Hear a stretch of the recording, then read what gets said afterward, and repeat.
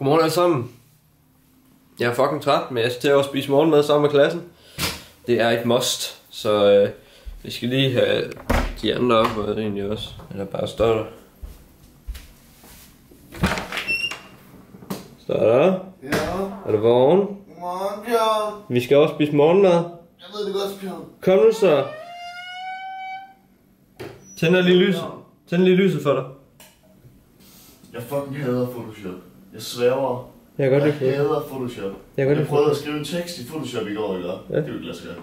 Det kan du sige. Nej, Du skal det bare, kan ikke lade sig gøre. Nå, du skal bare kunne finde ud af det. Nej, fordi når man skriver, så lige pludselig springer den bare ned og skriver ned bag på teksten. Men du er mærkelig,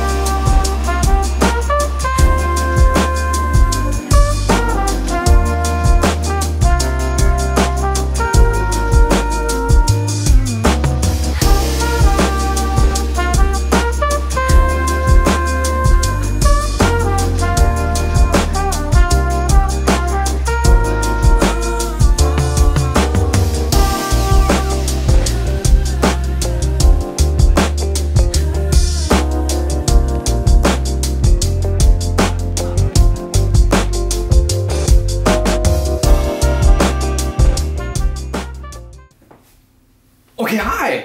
Okay, så er jeg kommet hjem, og øh, jeg har været over at få nogle, øh, nogle boller lige at spise, og vi har egentlig bare haft øh, komi til, så har vi haft øh, dansk, og så har vi haft noget, øh, et oplæg med øh, Emil Thor, og så har vi haft noget information omkring turen, jeg skal på i Seattle, øh, hvor vi skal til at danne grupper og sådan noget, fordi jeg skal må til at, hvis ikke, det kan jeg jo lige fortælle jer, Turen, jeg skal på til Seattle, er ikke bare en studietur, hvor jeg skal lave, hvor jeg skal ud og se ting. Jeg skal bo der en hel måned.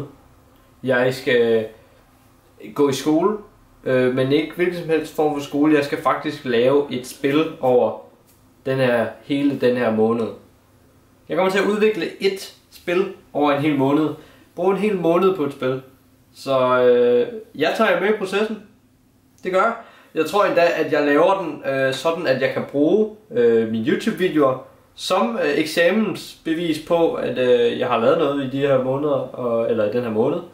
Det bliver meget detaljeret, det jeg får, kommer til at forklare jer om, hvad jeg har lavet, hvordan jeg har lavet det, hvorfor jeg har lavet det sådan. Så øh, det kommer I med i. Det bliver meget interessant. Det, øh, det tror jeg. Men øh, lad os se, hvad der sker med i dag. Jeg har lyst til at lave noget grafik, men jeg ved ikke hvordan.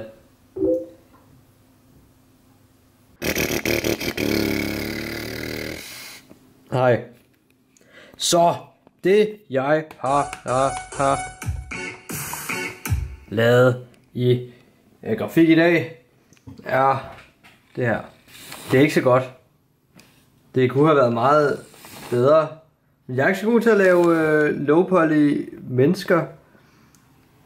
Jeg vil gerne have haft det meget, meget federe, men det, det er jeg ikke så god til. Øh, jeg skal øve mig lidt på det. Så øh, det må jo, jeg jo bare blive ved med at prøve. Og så se om det ikke kan blive bedre, og se om jeg ikke kan finde ud af nogle bedre måder at gøre det på. Men øh, sådan der ser det ud. Det er øh, taget, lavet ud fra et billede af, af mig, sjovt nok. Øh, fordi jeg lige havde et liggende fra, øh, jeg smidt på Instagram. Det er det der. Så er det blevet til det der. Så det er, det er meget tæt på. Men ellers, så har jeg ikke lavet sindssygt meget. Jeg har spillet lidt Launchpad, jeg har set lidt, set lidt serie. Og øh, så har jeg ellers bare ikke lavet noget. Så det er, det er, det er meget kedeligt. Men jeg håber på, at jeg kan give jer noget mere på et eller andet tidspunkt. Jeg ved dog ikke lige, hvornår. Jeg ved ikke, om jeg kommer til at lave så sindssygt meget mere i dag. Det håber jeg lidt, jeg gør, men jeg tror det ikke. Men i hvert fald, tusind tak, fordi I gad at se med i dag. Og husk at se med i morgen, når der burde ske et eller andet mere nice. Ved ikke rigtigt. Måske. Hej hej.